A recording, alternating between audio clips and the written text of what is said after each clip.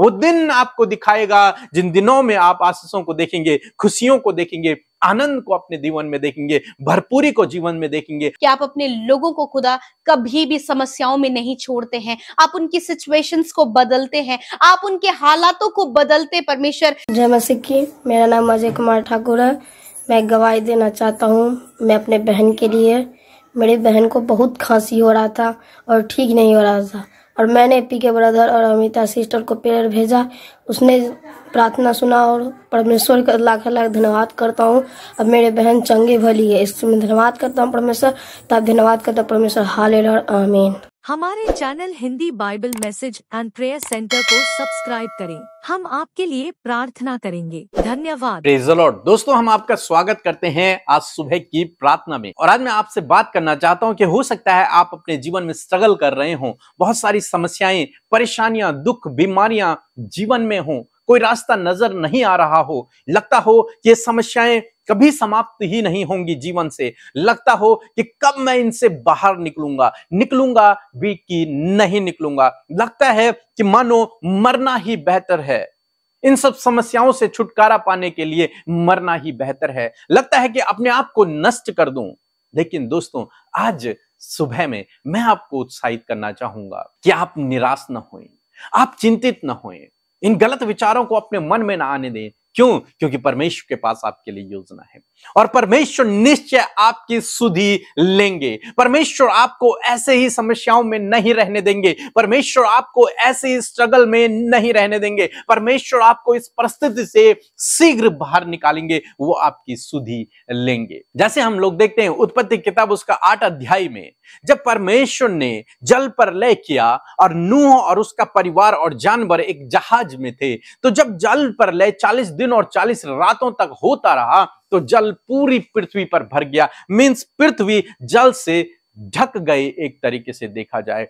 और नू अब जहाज़ में है, और जब बाहर देख रहा है तो पानी ही पानी है। नू को भी लगता होगा कि यह समस्या अब कभी भी समाप्त नहीं हो पाएगी। ये पानी अब कभी भी घट नहीं पाएगा। मैं कभी अब भूमि को नहीं देख पाऊँगा। नू के मन में ये सवाल चल रहे होंगे कि क्या फिर से दुनिया बसेगी? क्या मैं फिर से धरती को देख पाऊँगा? क्या मैं अपना जीवन फिर से यापन कर पाऊँगा? कि मैं भी अन्य लोगों की तरह नष्ट हो जाऊँगा, समाप्त हो जाऊँगा। क्या फिर से कोई उम्मीद है? और नू सोच रहा होगा कि शायद मैं कितने सालों तक ऐसे ही जहाज़ में रहूँगा। क्या मैं कभी उस धरती पर उतर पाऊँगा? क्या मैं फिर से अपने जीवन को एक नए तरीके से शुरुआत कर पाऊँगा? अनेक प्रकार के सवाल, विचार उसके मन में होंगे। ये पानी कब घटेगा? ये समस्या कब दूर होगी? कब परमेश्वर सब कुछ ठीक करेगा?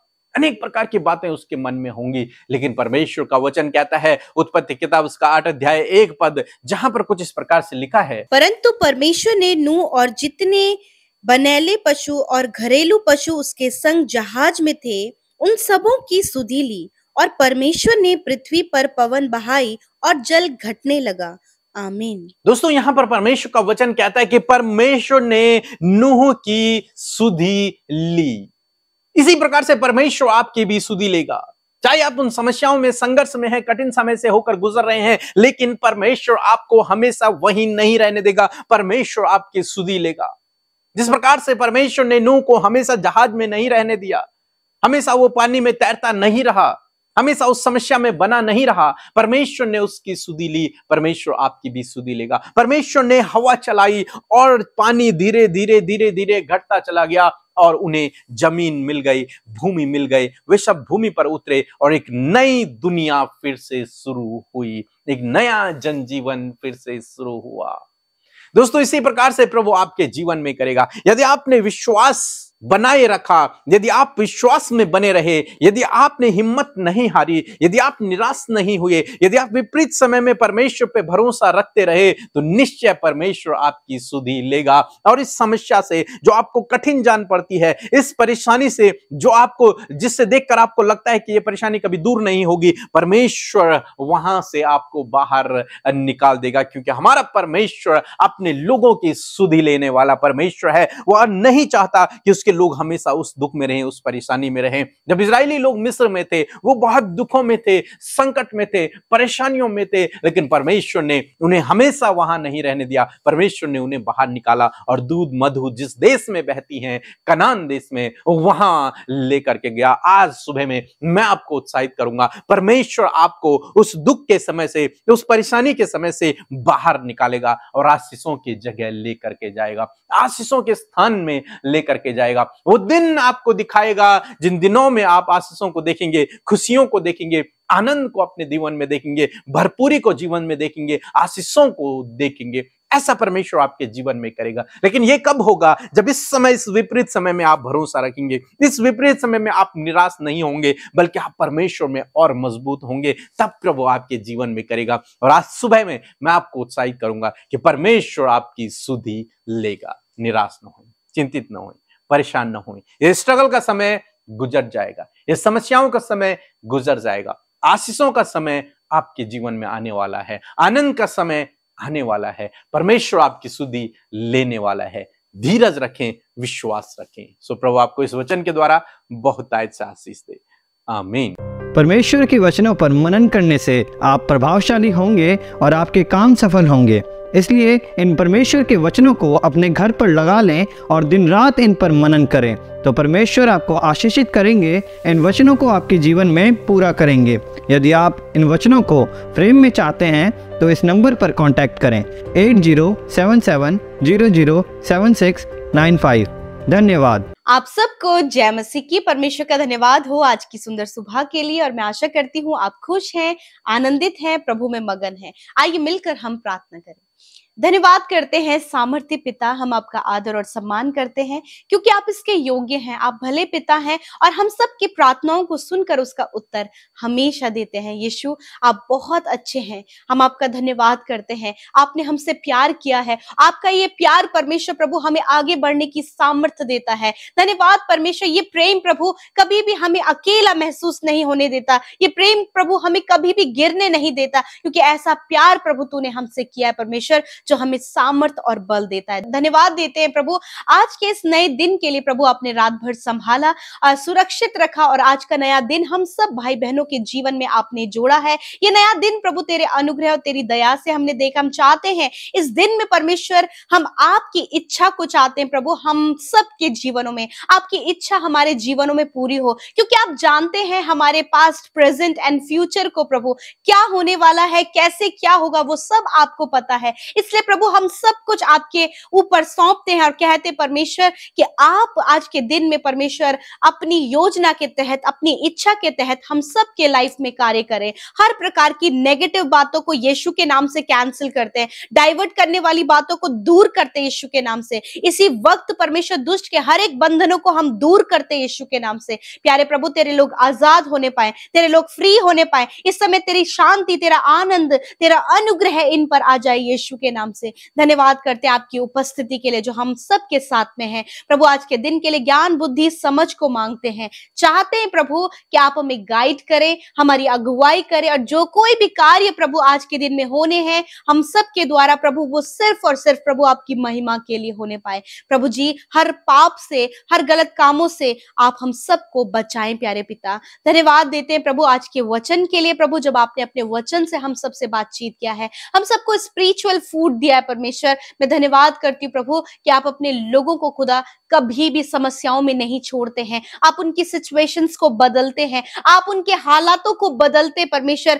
जिस प्रकार प्रभु जब नूह के सामने प्रभु जब बहुत सारा पानी था और उसे लग रहा था कि शायद अब भूमि नज़र नहीं आएगी, परंतु पिता, तूने उनकी सुधि ली प्रभु और तूने उनके लिए प्रभु पवन को बहाई और परमेश्वर पूरा जल घट गया और वो भूमि को उन्होंने देखा प्रभु। वो आशा, वो उम्मीद को तूने पूरा किया। आज बहुत से लोग प्रभु इस समय प्रार्थना में है और प्रभु अपनी उम्मीद को तुझ पर लगाए हैं। प्रभु, जब उन्हें कोई रास्ता नज़र नहीं आ रहा है, जब पिता परमेश्वर हर तरफ़ से वो परेशानियों से घिरे परमेश्वर, हर तरफ़ से रुकावटें हर तरफ़ से बाधाएँ हैं, कर्जे में है और बहुत सी विरोधियों से घिरे परमेश्वर पिता। प्रभु, ऐसे समय में मैं दुआ करती हूँ और प्रभु, घोषणा करती हूँ, तेरे लोगों के रास्ते खुल जाए यीशु के नाम से, उनकी असफलताएँ दूर हो जाए यीशु के नाम से, जब उन्हें कुछ नहीं नज़र आ रहा, दरवाजे खुल जाए यीशु नासरी के नाम से। प्रभु, धन्यवाद। धन्यवाद कि आप ऐसा करने में सामर्थ्य हैं। प्रभु यीशु के नाम से, प्रभु हर एक वो विरोधी, प्रभु इनके रास्ते से दूर होने पाए पिता।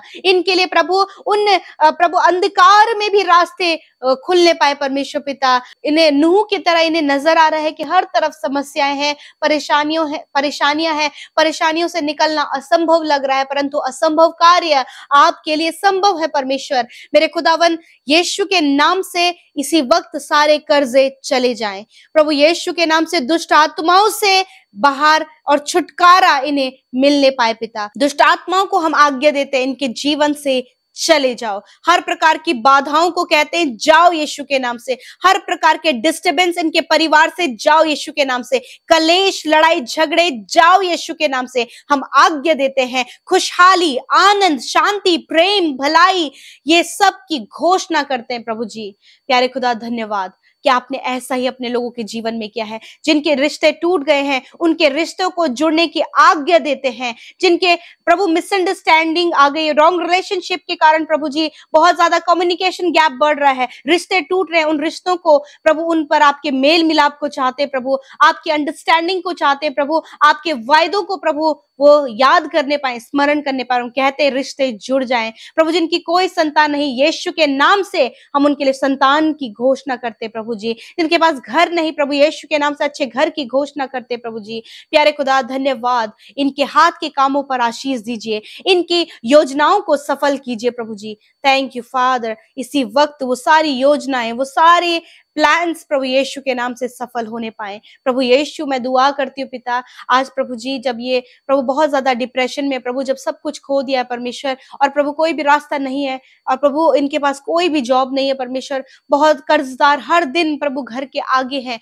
दुआ करते हैं, इसी वक्त अपने महिमा महिमामय धन से उनके लिए प्रबंध करें। यीशु के नाम से प्रबंध होने लगे, यीशु के नाम से। थैंक यू फादर धन्यवाद करते पिता। प्यारे प्रभु, मैं दुआ करती हूँ परमेश्वर, प्रभु जी विशेष रूप से प्रभु, जितने नौजवान प्रभु इन, इस बात के लिए कंफ्यूज है कि वो क्या अपने जीवन में करें और कैसे करें। और वो बहुत ज़्यादा निराश है प्रभु, इस समय उनकी निराशा को दूर करें और एक अच्छा रास्ता उनके लिए तैयार करें। नूह और उन सब लोगों के लिए जो जहाज़ में थे, एक प्रभु, बहुत अद्भुत आपने उनके लिए किया। उसी प्रकार अपने लोगों के लिए भी आप अद्भुत कार्य करें मेरे खुदावन धन्यवाद करते उनकी सोच समझ कल्पनाओं से परे, उनके परिवार के लिए, उनके बच्चों के लिए, उनके जॉब के क्षेत्र में, बिज़नेस के क्षेत्र में, अन्य क्षेत्रों में, हर एक के लिए प्रभु तेरा कार्य होने पाए। जो कुछ भी ये करते, उस पर तेरे कार्य होने पाए पिता। ये आपकी भलाइयों को, आपके बेहतर इंतज़ाम को, आपके प्रभु बड़े बड़े कार्यों को अपने जीवन में होते हुए देख सके पिता।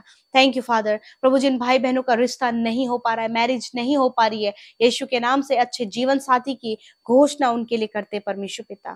थैंक यू फादर प्रभु, जो बहुत ज़्यादा डर रहे हैं, प्रभु जी, यीशु के नाम से डरावने विचार, हर एक डर इनके जीवन से चला जाए। प्रभु, हर एक दुष्ट के कार्य प्रभु यीशु के नाम से इसी वक्त हम दूर करते हैं। बीमारी में प्रभु जो आपके लोग इस समय पड़े हैं, बिछौने में हैं, प्रभु जी, हॉस्पिटल और वेंटिलेटर, आईसीयू में बहुत सीरियस है। यीशु के नाम से हम उनके लिए जीवन को मांगते हैं। यीशु के नाम से उनके शरीर को आज्ञा देते हैं, चंगे हो जाओ, बीमारियाँ जाओ, दुर्बलताओं, दुर्बलताएँ जाओ यीशु के नाम से। प्रभु यीशु के नाम से हर एक रोग हम आज्ञा देते हैं, छोटे बच्चों को छोड़कर, नौजवानों को छोड़कर, बुज़ुर्गों को छोड़कर, हर एक बीमारी निकल कर चली जाए। हम आज्ञा देते हैं, अंदरूनी अंगों को हम आज्ञा देते हैं प्रॉपर काम करें यीशु के नाम से। धन्यवाद। धन्यवाद करते तेरा वचन कहता है कि प्रभु यीशु के कोड़े खाने से तुम चंगे हो गए हो। धन्यवाद करते प्रभु तेरे कोड़े खाने से। ये भाई बहन इनके परिवार के लोग जिनके लिए प्रार्थना करें, जो बीमारी में है, जो बिछौने में है, वो सब चंगे हो गए प्रभु, क्योंकि उन्होंने चंगाई की सामर्थ को इसी समय रिसीव किया परमेश्वर।